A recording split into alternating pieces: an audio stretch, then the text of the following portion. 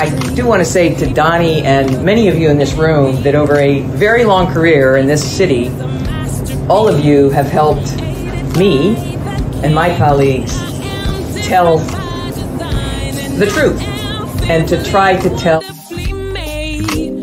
I may not look like you and you me, but my head up. I'm South Carolina, so I just be you. Got it. What does this event mean to you, Miss Peggy Moss? Oh, my heart, Happy 20th anniversary. my heart is about loving up on my sisters. Do you know what it feels like to have your sisters in the room? Doni.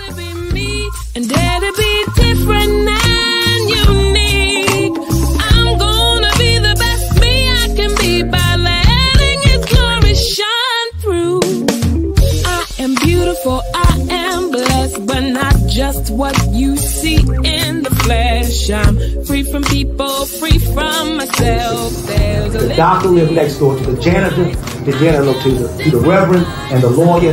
We were together. Now we get so high and mighty that you create stress for your society because you don't like poor black folks either. That's a health problem. Get yourself together so I can stop being taking care of geriatric people and get back to pediatrics. I thank you, Doni, for all you've done. Let's keep doing it all the more. letting glory shine through. Dare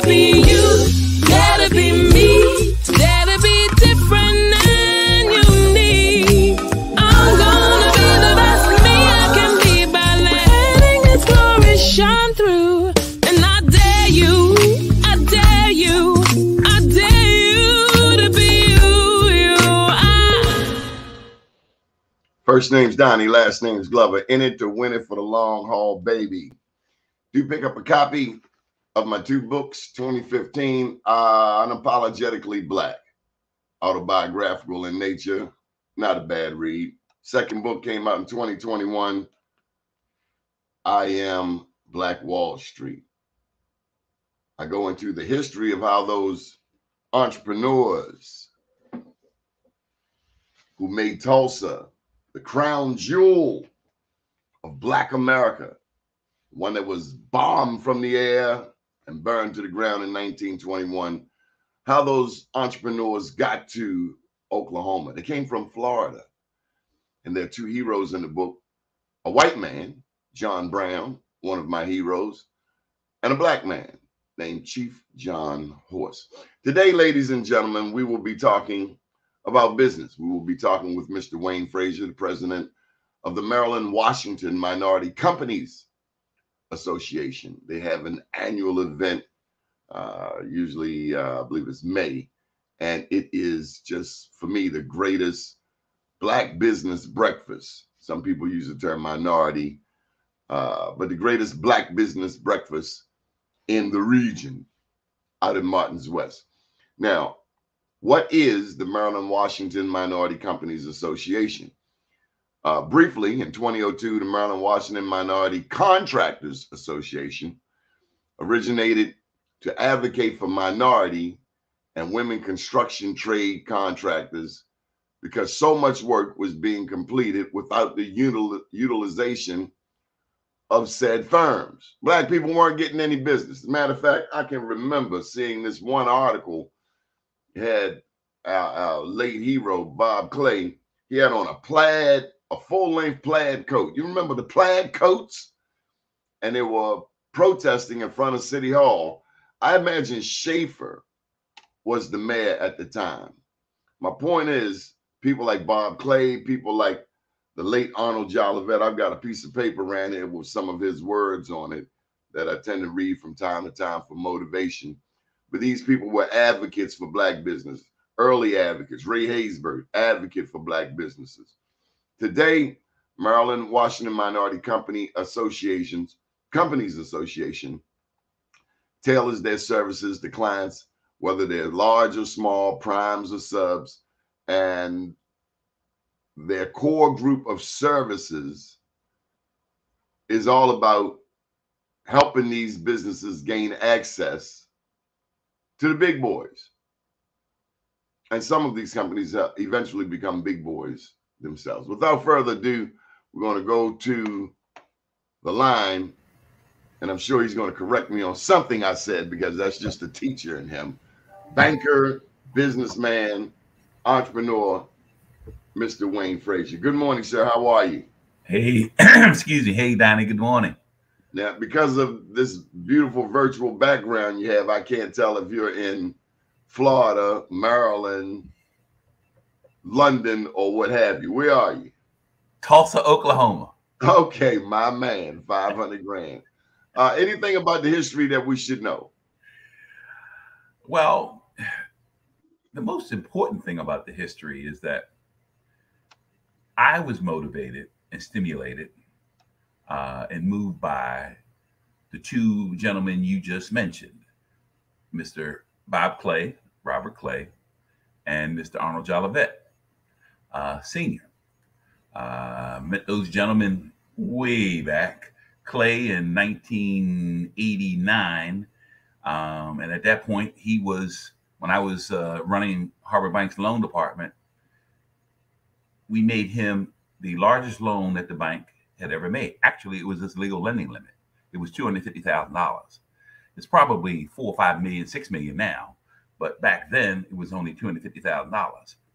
And Clay paid us back as agreed.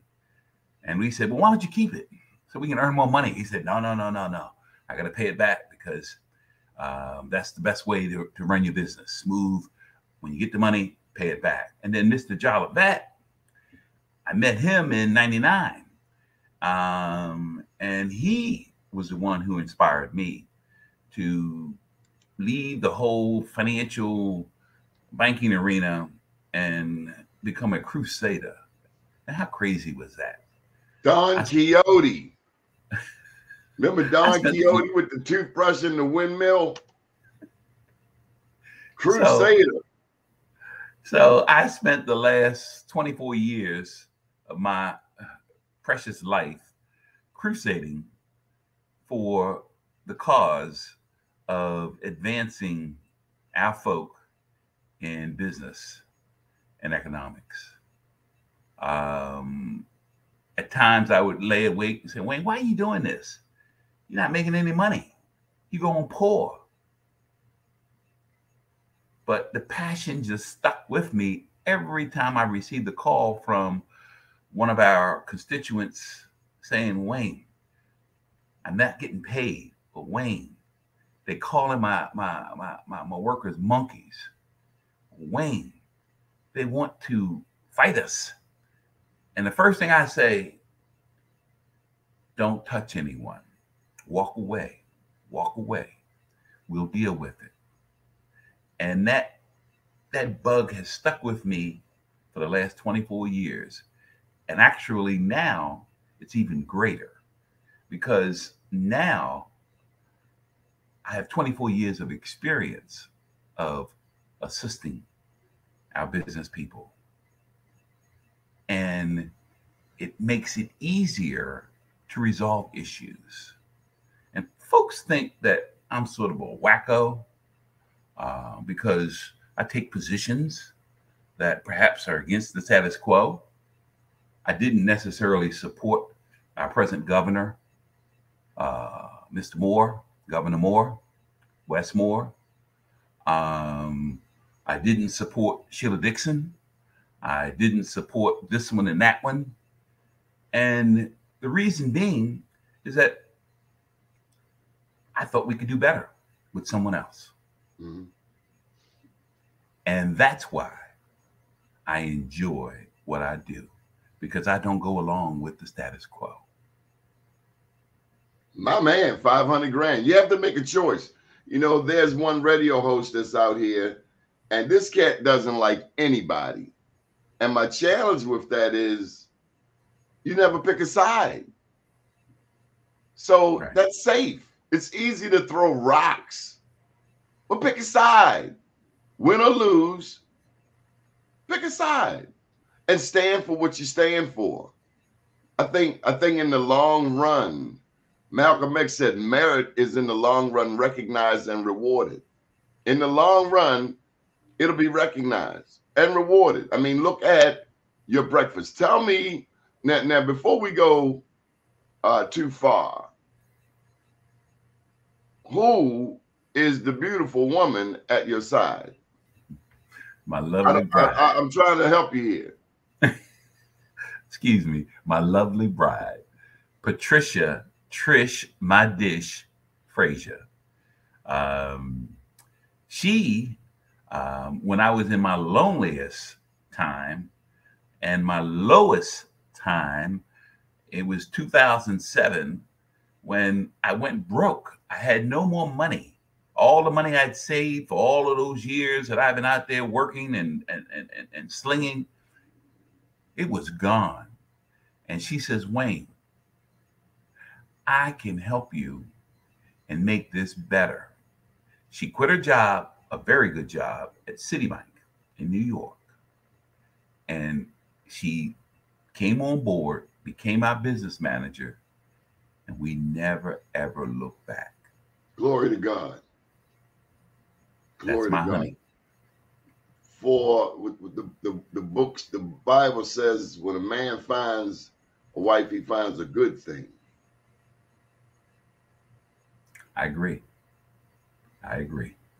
And to this day, and to this day, we are soaring because of her wise business decisions. People think, Wayne, you you, you you got all this. You got no.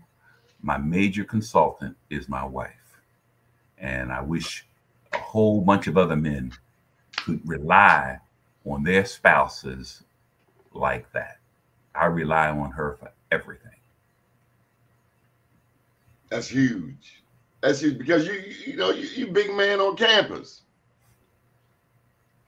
Well, she oftentimes, probably after the day, she'll criticize me uh, for what I said or what I didn't say, or she'll criticize me for, uh, or critique me, I should say, not criticize, critique me. Um, and it just makes me sharper and better. A lot of times we don't like that type of critique. but Accountability. Accountability partner.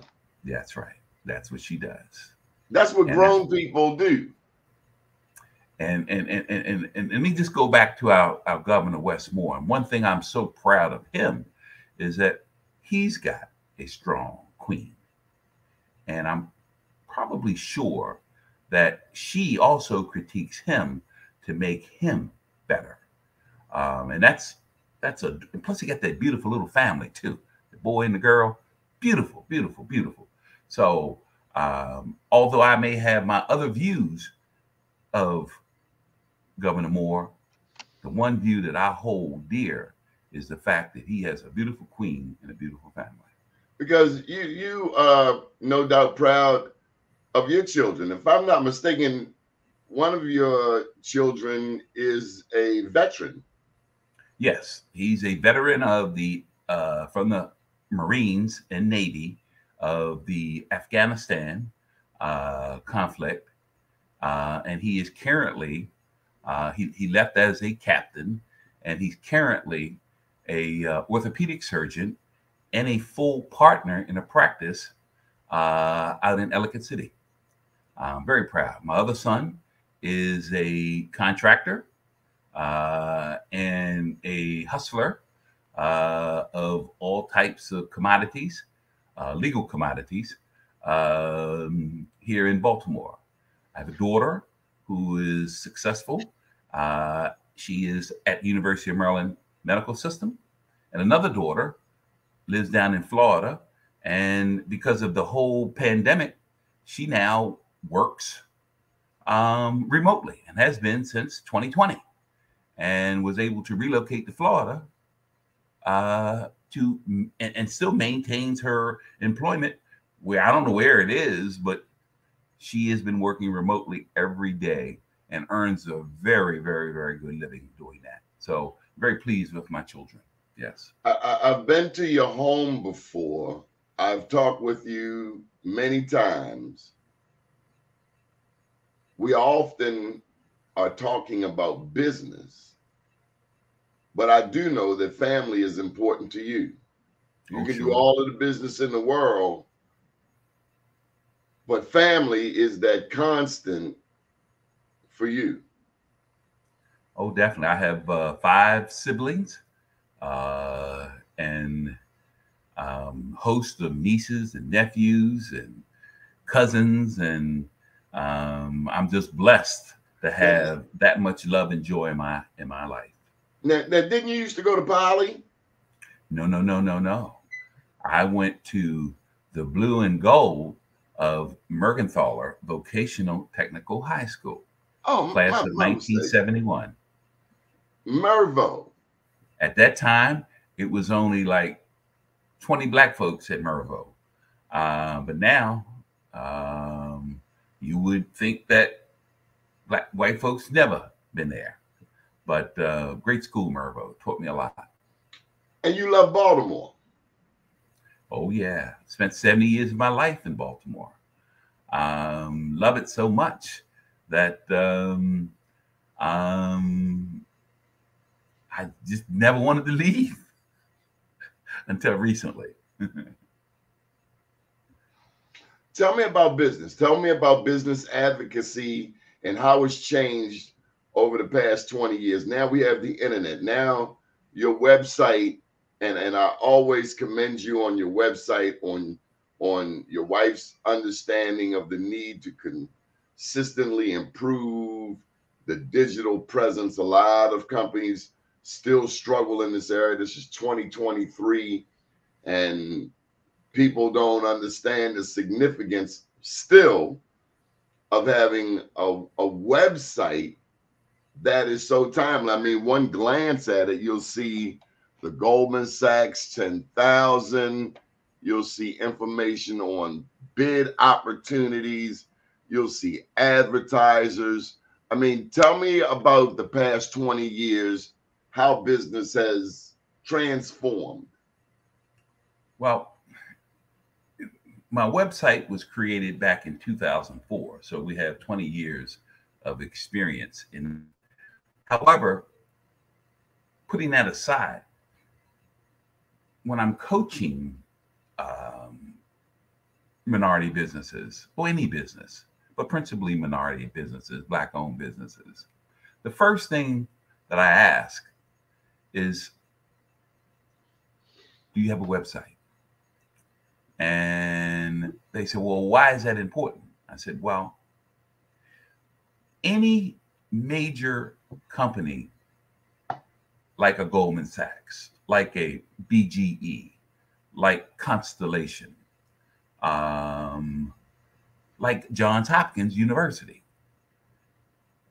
when they, the first thing that they do is go to a company's website.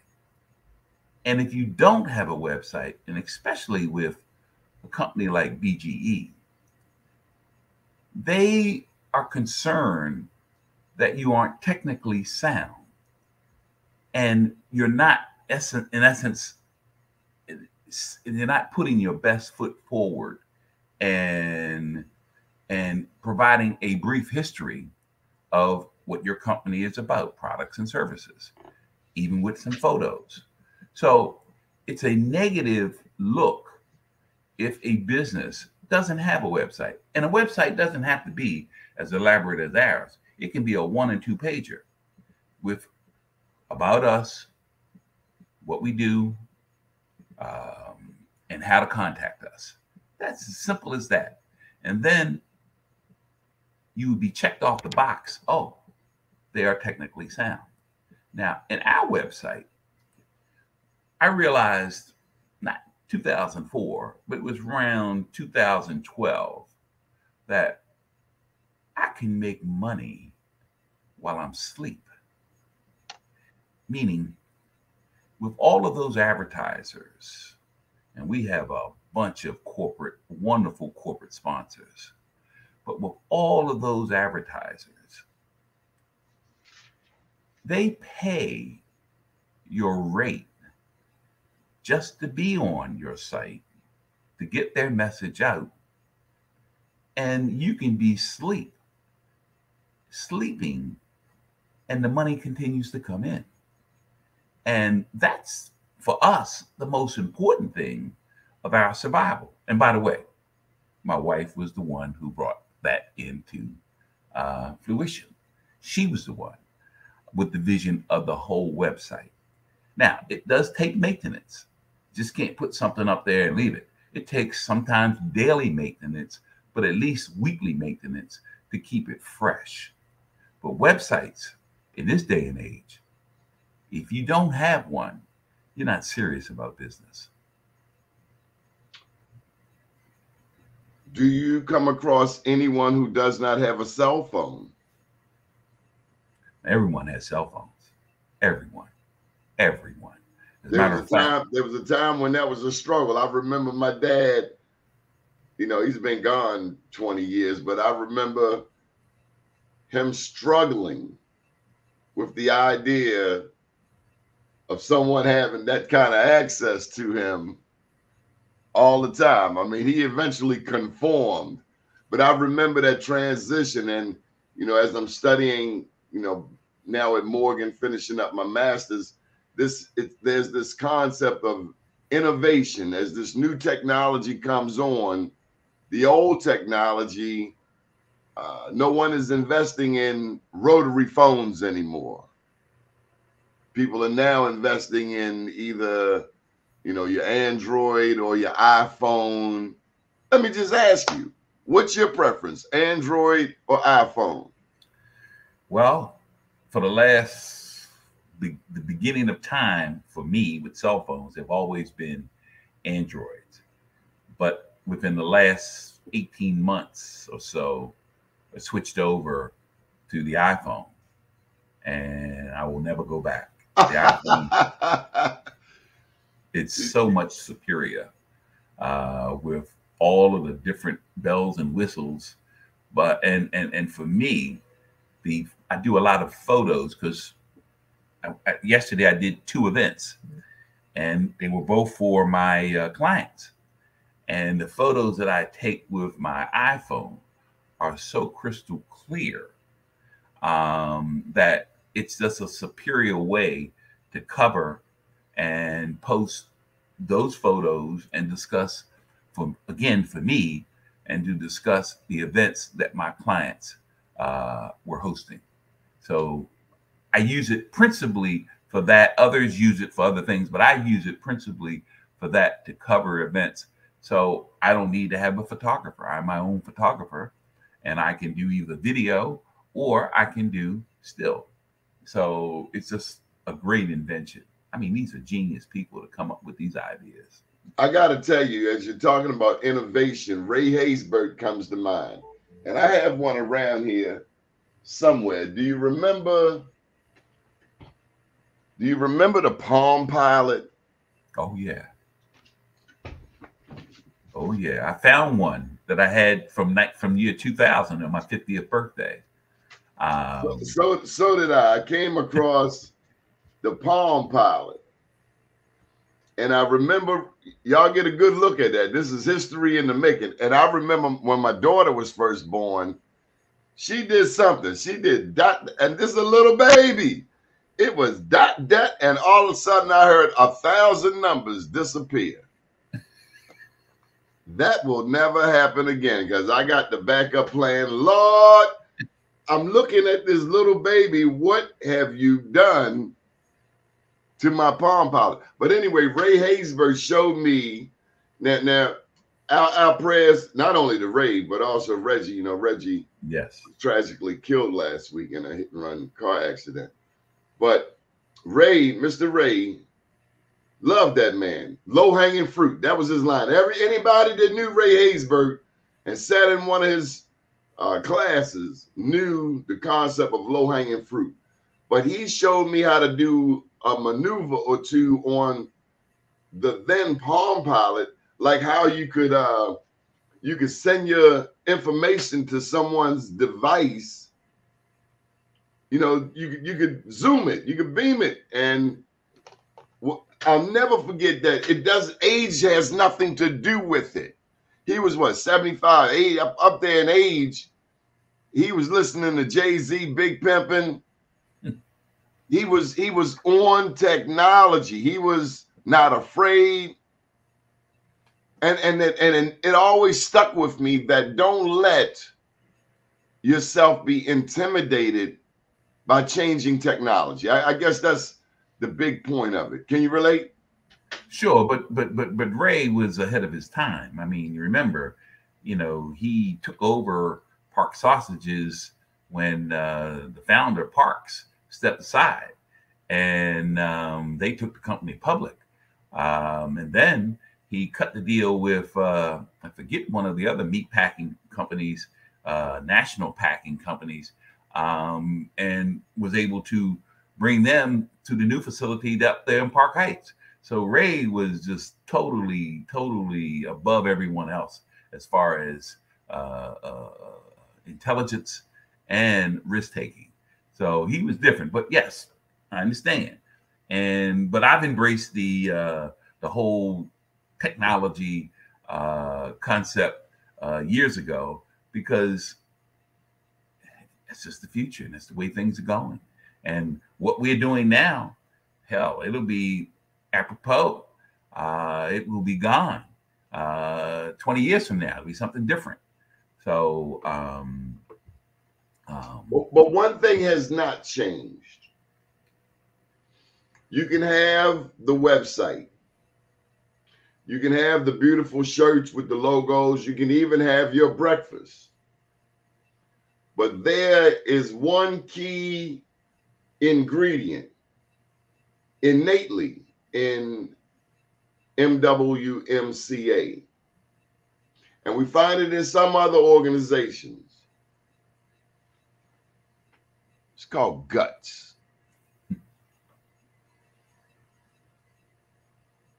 You will challenge anyone if they're not doing what they say they're going to do. Anyone. Why is that, Mr. Frazier? Because And I'm not trying to get you in trouble, Miss Pat. This, this is just a basic bounce pass. But I'm talking about, you know, I think of Arnold, Mr. Jolly. And I love that man. That man, he would always say, Doni, come on out here and get your check. Those were some of the sweetest words to my ear. But he was a fighter. And and and I'm reminded, just like the various black history books I surround myself with, the fight is never over. As long as you're black and in America, I don't care if the politician is a Democrat, a Republican, a Republicrat, you've got to fight. Otherwise, they're gonna take your money. I agree. I agree. Um, but see, that's a passion that I had uh, that probably was kindled when I was a undergrad at Morgan State University between 1971 and 1976. And because at that time they instilled that fighter mentality in me. Um, and then that just carried over with my first career assignment uh, with Equitable Trust Bank, um, where in 1976, it was only a few of us working, Black folks working for Equitable. And you either went along to get along, or when opposition uh, confronted you, you you stood up to it. And as a result, that has stayed with me my entire career when I moved to Harbor Bank. Um, hell,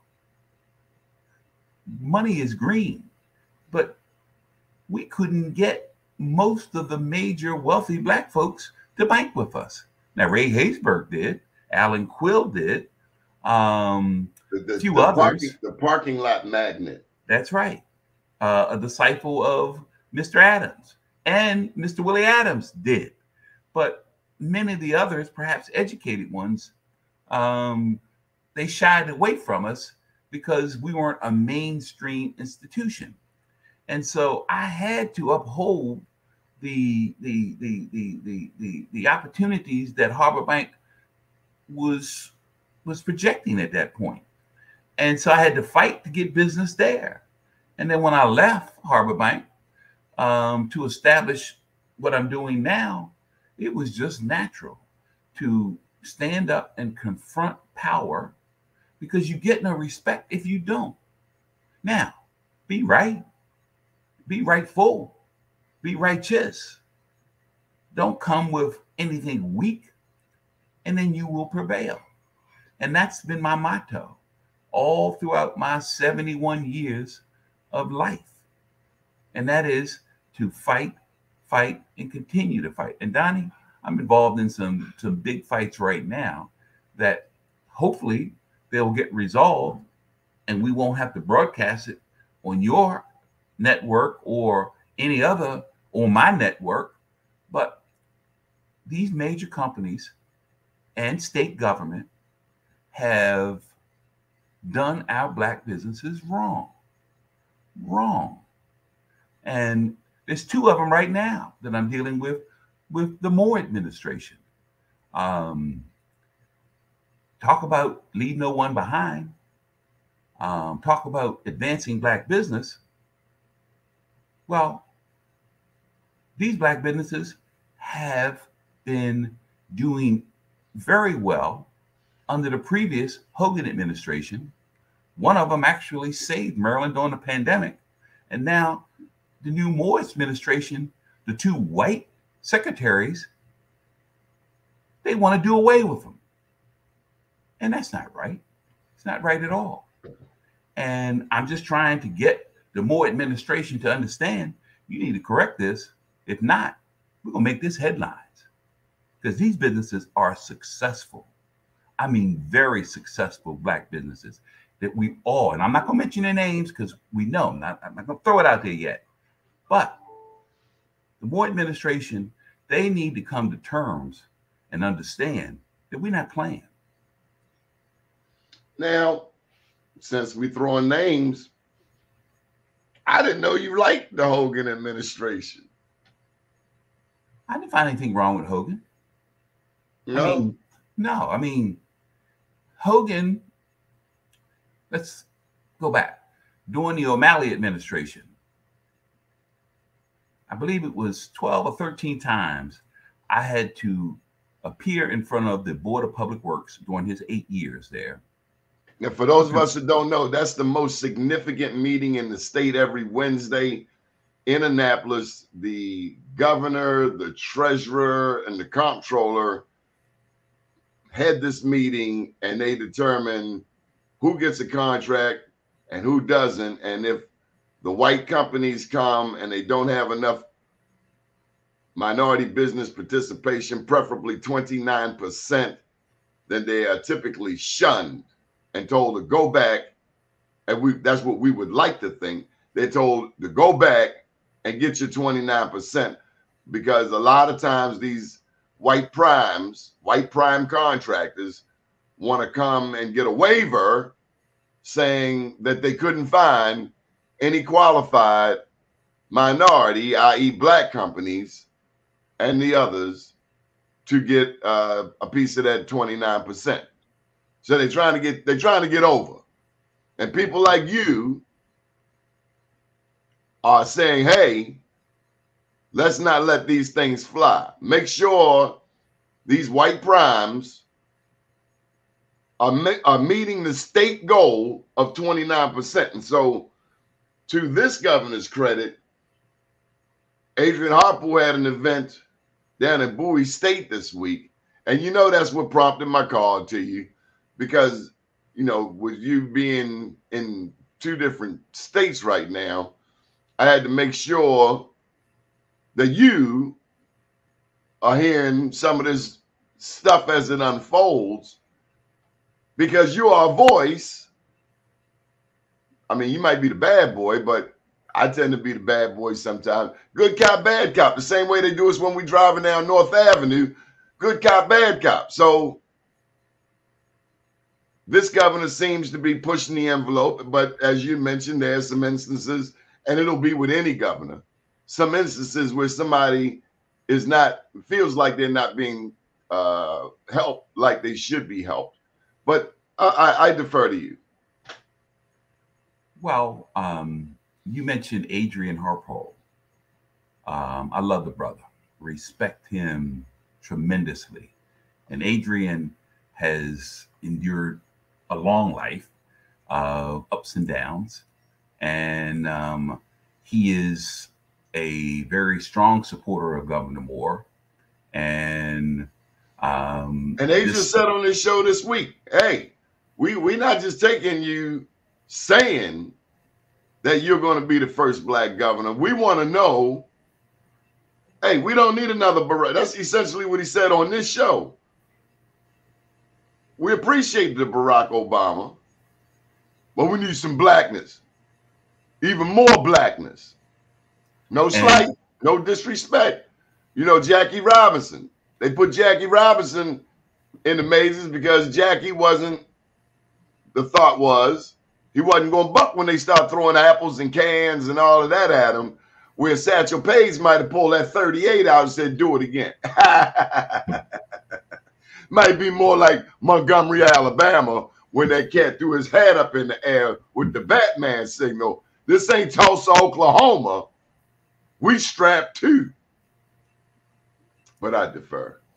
Well, um, in, in in reference to the event that they had, I believe it's one going to be held uh, on the twentieth I- or so of of of of at, at Coppin State.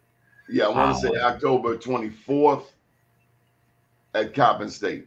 Okay, and so that is a Soon as he says that major, advertisement over here, we'll we'll get it up on this ticket tape here. but that's a major yeah. major um, um, difference between the previous administration and um, this administration, but it's expected. I mean, we expect Governor Moore to champion our rights and opportunities. We expect that. Um, if not, then you know why? Is Well, well, that's the point of Adrian's event there at Bowie State University, the one coming up here at Coppin. Uh, and and and none of us, you, him, me, none of us can do it all. There's no way we can do it all. You may have a better rapport with Governor A. He may have a better rapport with Governor B. It doesn't matter as long as somebody's pushing that agenda in their face. Democrat, Republican, black, white, black business. Because we hear Arnold Jolivet in our ear all the time. I know you hear him. Well, by the way, his son, Arnold Jolivet too, is now uh, in charge of all uh, minority business for the University of Maryland, Baltimore. And um, he would be great to have on your show because um, University of Maryland, Baltimore covers all of the professional schools downtown off of Greene Greene Street as well as um, they control all of the procurement for Coppin, Towson, University of Baltimore, for um, um, a couple of other universities. So it all comes through the University of Maryland, Baltimore. And I call him Little Arnold. He's huge. He's bigger than his dad. But Little Arnold um, is now carrying that torch and leading leading the way. He would be a great great, great, great uh, uh, person to be on your show. But um, getting back to to what Adrian is doing for Governor Moore, um, again, it's needed. Um, and the best thing that the governor can do is we call it the Calvin Butler effect. Calvin Butler was a former CEO of, of BGE, and now he is the CEO of Exelon, uh, the second largest public utility in America. But Calvin, as in that CEO role, he did one thing and one thing great. He let all of those vendors know, those first tier vendors know, doing business with BGE, you must achieve their 25% goal. If you don't, then we will reconsider doing business with you when your contract expires. And all contracts expire, at least they should. Um, and so that's what our governor is doing now.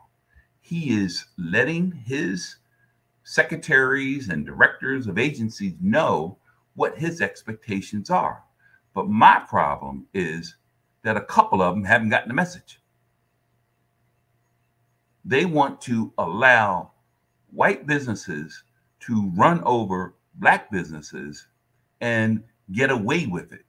And that's not what we're going to do. And the fight continues. And it continues. They need to get the message. So many thoughts come to mind. So many fights. One day there's going to be a new Wayne Frazier, a new Doni Glover. Do you think we've prepared those who are following us, those who are younger than us, to step into our shoes when our time has come?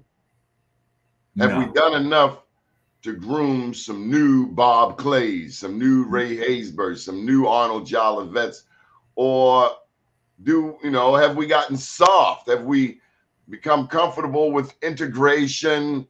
Have we gotten? Uh, ha- ha- has our civil rights and civil rights advocacy just gotten watered down? I believe they have, and folks have gotten comfortable, and you know, because things are better, easier. Um, But it didn't have- come without a fight. I, I understand, but you have so many black women now uh, heading up businesses, CEOs on corporate boards. I believe they outnumber black men, um, and and we look at that and we see that, gosh, we don't have to fight as much Oh yes, we do. because because because things are just easier to to to to to come by. I guarantee you this: this past June, when the Supreme Court, when they eliminated the affirmative action at the college and university level, that's just the beginning. It's going to move I would say in the next three years, it's going to move to affirmative action in government contracting.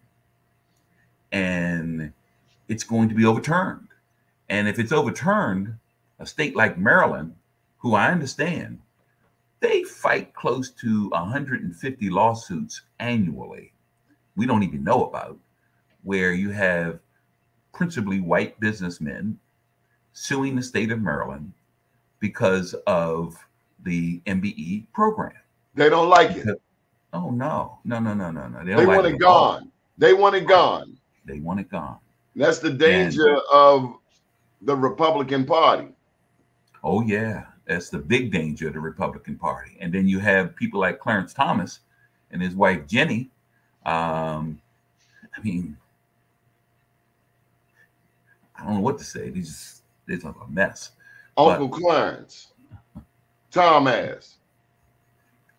And then you got the presidential, the guy from senator from South Carolina running for president. Byron, He he he he's he he, he buys into all of that. So Scott. Scott, Tim Scott. So, so in two to three years, you're going to see a couple of these suits that have hit the state, like Maryland. Maryland fights them vigorously and, and defeats them each and every time, but they're going to now move it up to the state Supreme Court. And then if they lose there, you know where it's going. It's going to the U.S. Supreme Court. And all you need is one to hit there. And as long as the Republicans hold the majority that they have, and they surely will, unless one of them die, uh, and Biden can appoint someone, they're going to rule against affirmative action in public uh, procurement. They're gonna And rule there's a major case that's often referred to Croson versus the city of Richmond, Yes. where this white majority company is doing everything possible to fight as you say, being forced to give a part of those contracts to black businesses. Is do you think this is just you think it's racism? You think it's greed? You think it's racism and greed? Do you think it's fear of a black planet, as the rapper would say? Why are these white primes so adamant? Not all, but these who fight us and the, the Supreme Court and, and just righteousness and justice. When I think of the black veterans who have fought and bled and died for this country, I think of your son put his life on the line only to have this person think that they're the only ones who are supposed to benefit. It sickens me to my core. And it, it just, it's no different than what happened in Tulsa, Oklahoma. It's it's it's not gone anywhere. Well, Doni, because I'm reminded this happened during the O'Malley administration when he was mayor in Baltimore, and I protested um, with a company uh, who was blocked out of a lighting contract, and I heard the owner of the lighting company said they're trying to take my business, my business. And he didn't want to share any of it, any of it at all. And so the light lit But, up but they- point. they- these are contracts from public dollars, our That's tax right. dollars, state That's dollars. So we, we have a say in where that money goes. yes. But this cat, like the one you're talking about, it's me, me, me, like a big baby, a selfish, crying, whining baby. And and on that particular time, O'Malley he voted with us, and he struck it down and sided with the minority company. But the point is, the point is, is that the belief is that this procurement, this work is theirs and theirs only to keep. And I imagine, I imagine any business person. What a would look at it selfish way. prick. Well, but Doni, that's capitalism, and that's the way capitalism think. You win it, it's yours until it's not yours. Yeah, but when Um, the you- wars come down, they hiding their sons and sending their sons to Canada, while your son and my son are being drafted to go to war. So they really have no skin in the game. No, And people like us from Baltimore, we call them cowards. well, um, our former president Trump, he didn't go to Canada, but he had his dad to give him those deferments. I think it was four or five of them. Um, so yes, um, I'm getting And- myself upset. I gotta calm down, Mr. Frazier. That's why you like to. That's why you call me because let me let me ask you this. I, I gotta ask you on behalf of Be More News. What is the role of black media in this fight here in the state of Maryland? What's been your experience? There's the Afro. There's WEAA. There's Be More News. There's the Baltimore Times. There's Kenny Brown's Northwest Voice. There's the Washington Informer, Informer with Denise Rolark Barnes. What is the role of black media in keeping this fight alive from your perspective? Well, it should be keeping that light of truth out there to let folks know. However, it's a business, Doni, and um, in order to to to to stay up and continue uh, that advocacy work, they have to hire folk, reporters, um, who are able to get the information, report it for them to publish. And most of the media sources that you just mentioned, I, I say, except for the Afro, have very few, if any, um, reporters out there um, bringing the information back. And and they have to rely on advertisers. And if you look at their publications, they don't have many advertisers. And so, um, in my opinion, and I've reached out um, to the Afro, um, and I said, why don't you get yourself certified um, as a minority owned business? Um, surely you can do it. Um, and then take advantage of the various programs.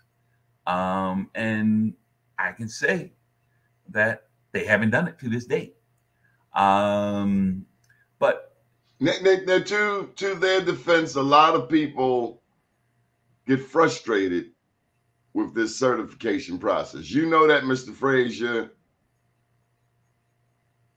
Fundamentally, some of us wonder why we have to prove that we're black. it's not proving that you're black. Black Yeah, is it because white companies don't have to do it. Yeah, but Is that true? Do white companies have to prove that they're white? No, no, no. But they can't. They other than white women, they cannot be a part of the program. And how many of these Um, companies are fronts for white men? These white women companies. I imagine some are. I don't know of any. I, I, I- don't. I mean, and I we certify businesses. Part of our uh, uh, products and services that we offer is the certification. Matter of fact, it's a good portion of our business. And um, How, how much is the certification process? What does pardon? how much do you charge to certify a company? Well, it depends upon um, the the How type big of the work that company we is. need to do. Mhm. I mean, in some cases, we may have to restructure the whole corporate structure, uh, bylaws, uh, minutes, um, and so forth, um, uh, operating agreements, and so forth, in order to con- conform with what the authorities would be looking for. Um, and and that may take, and we may have to go back. We may even have to structure the equity contributions that are made or restructure those. Um, so, and in, and in some cases, a lot of the white women businesses are declined um, up to 20, 30 counts of the reasons why they were declined. And so we will have to take, and then it may take us a year or two to turn it all around and get them into a position where they are large and in charge and running the business. Now, in each case, they were all running the business. It's just the way they submitted their their paperwork, and it's the the devil is in the details. But but every white woman-owned business that we've assisted, that woman was large and in charge and running the business, but they failed to. They thought that they could just do the paperwork, submit it, and bam, because they thought, oh, I'm a woman, I can be certified. Same thing with a black person. Oh, I'm black person. I can be certified. No, no, no. It's how you structure it. It's who you have as investors. It's it's it's a number of things, and so um, um, so it's it's critical that it's done properly because if you turn down, you have to wait at least six months and then sometimes a year in order to reapply. Tell me about Chris Lundy, Baltimore City's MBE chief under Mayor Brandon Scott. Well, when Courtney Billups was in that role, I thought he was the best. When Kamada Brown was in that role, I thought she was the best ever. And now that we have Chris Lundy, I believe he's the best ever. So much so that the mayor has re realigned or re um, Categorized, restructured, Restructured. restructured the whole MBE department, um, the whole uh, uh, other agencies to to report up through Chris Lundy. Um, Chris Lundy um, is is the second. Tomorrow was the first to find a major prime for not meeting their MBE spending goals. Chris um, has done that as well and actually disbarred. He disbarred a company out of New Jersey. We call them up from uh, Tony Soprano's area. up there in New Jersey. They were doing uh, DPW work, uh, underground utility, dirty, grungy work, but it's a lot of money in that field. And he disbarred them for not paying minority, black, not minority, but black contractors here in the city. So, and then he's he's revised their whole MBE program for certifications. You can get certifications done in less than 30 days now. He's convinced the mayor to bring in more professional, skilled people in his department to turn these investigations around quickly. So, all I can say is, I was just with him yesterday. Chris Lundy is a blessing. Never before has a prime been sued in the city of Baltimore, at least not that that I've heard of. Is is this unprecedented? Yes, yes. Um, the previous mayors, these issues have been going on, and folks like Arnold and Bob Clay and others have brought it to those mayors' attentions that these primes were mistreating, um, as well as myself and the mayors from Jack Young to Pugh to Sheila Dixon, um, Stephanie Rawlings, they wouldn't take action like this. And I surmise the reason they don't take action like this is because they rely on campaign contributions from major companies like that. And they and they, they, the, the evidence was there, but they would not act on it. Um, but could, could, could we say that BG&E has uh, skated with regard to some of their obligations to the city of Baltimore? Could one say that they have gotten a sweetheart deal? No, no, no, no. The devil is in the details. Folks don't understand the entire and you we should have one of the BGE folks on your show. We'd love we'd love to have them. I think we can arrange that. But uh, they're getting a a, a, a, a, a, a bad look at this because of the negative reporting being done by others on how BGE is is is allegedly taking advantage of the ratepayers in the city of Baltimore. But that's not so. I don't have all of the details, but it would be great to arrange an opportunity to bring one of their uh, spokesperson on to explain it. But no, BGE, trust me, what I've seen with BGE, and especially with their workforce development programs, I mean, they're training black folks. They're going to Carver and Mervo and training students there to come out of high school to enter in employment with BGE. As so, they should, because when we see a black man at the top, we expect results for black people, whether it's Calvin Butler, whether it's Wes Moore, whether it's Michael Steele, Boyd Rutherford, Jack Young. When we see a black person at the top, I have the expectation, and Be More News and Black USA, that that means some benefits for black people. Right. Oh, truly. BGE, in my opinion, in Greater Baltimore, other than Whiting Turner Contracting now, is the most inclusive major corporation in the Greater Baltimore region. BGE. Wow. Wow. Right here on Black USA Dot News, the Doni Glover Show. You've heard it, folks. Any final thoughts, Mr. Frazier? Doni, I appreciate you and all that you do for us to bring light to the various issues that are going on.